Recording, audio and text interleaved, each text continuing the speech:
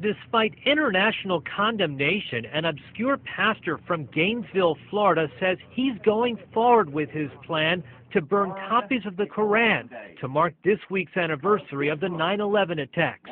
Terry Jones is pastor of a 30 member church known as the Dove World Outreach Center. It is possibly time for us in a new way to actually stand up, confront terrorism. There is something very much wrong with our policies. So as of right now, we, we are not convinced that backing down is the right thing. So on September the 11th, we shall continue with our planned event.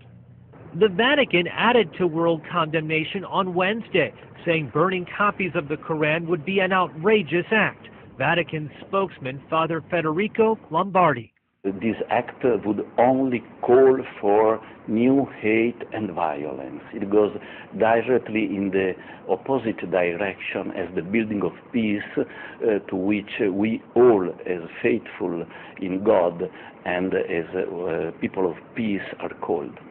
General David Petraeus, the commander of U.S. forces in Afghanistan, has warned the Koran burning would hand extremists a propaganda gift and could put U.S. troops in danger.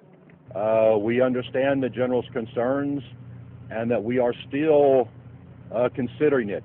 In the meantime, authorities in Florida say they're stepping up special security measures for Saturday's planned public torching of the Muslim holy book. John Decker, Reuters.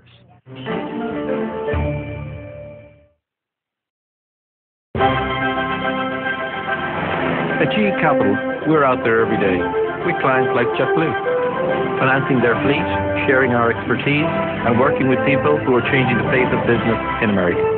After 25 years in the aviation business, I kind of feel like if you're not having fun at what you do, then you've got the wrong job. My landing was better than yours. No, it wasn't. Yes, it was. Was not. Yes, it was. What do you think? Take one of the big ones out? Nah.